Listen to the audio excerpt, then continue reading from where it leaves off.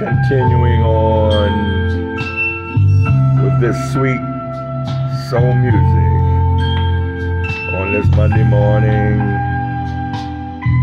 Stay with me. Stay with me.